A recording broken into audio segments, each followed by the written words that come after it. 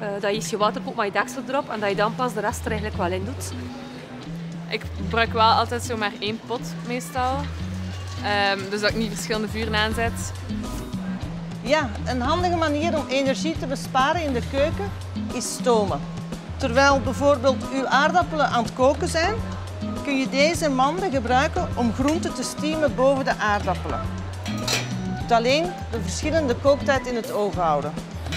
Indien je verschillende ingrediënten wilt koken tegelijkertijd, kan dit ook in één kookpot met deze handige verschillende kleine inzetmandjes. Minder energie, minder waterverbruik en minder afwas.